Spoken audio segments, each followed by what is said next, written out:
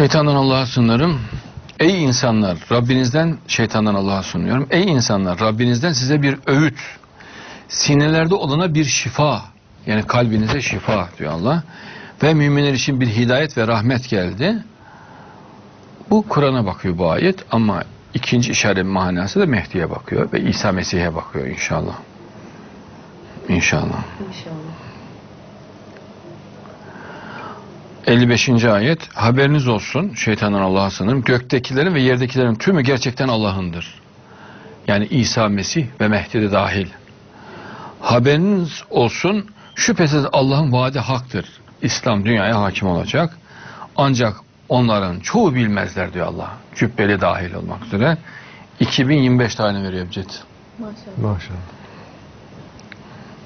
O diriltir ve o öldürür, ona döndürüleceksiniz. Kimse kimseyi öldüremez. Ölüm olduğunda onu Allah yaratır. Ve ona döndüreceksiniz. Her ölen hemen Allah'a döner. İnşallah. Hiçbir konuşmamız, hiçbir görüntü, hiçbir ses kaybı olmaz. Mesela bakın şu. Sonsuza kadar kaybolmaz bu. Allah'ın katında daha ben annemden doğmadan bu ses vardı şu. Kaderdeydi.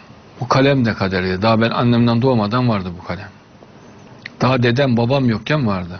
Kader böyledir. Mesela buradaki görüntü, bu toplantı, sohbetteki bu birlikteliğimiz sonsuza kadar kaybolmaz. Sonsuza kadar durur Allah katında. Bu orijinal şekliyle, konuşma şekliyle hiçbir şekilde yani mümkün değildir. Haşa Allah'ın kaybolması gerekir kaybolması için. Allah asla kaybolmayacağı için görüntü ve seslerde asla kaybolmaz.